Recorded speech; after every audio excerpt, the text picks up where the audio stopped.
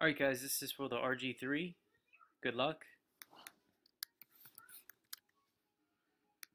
909.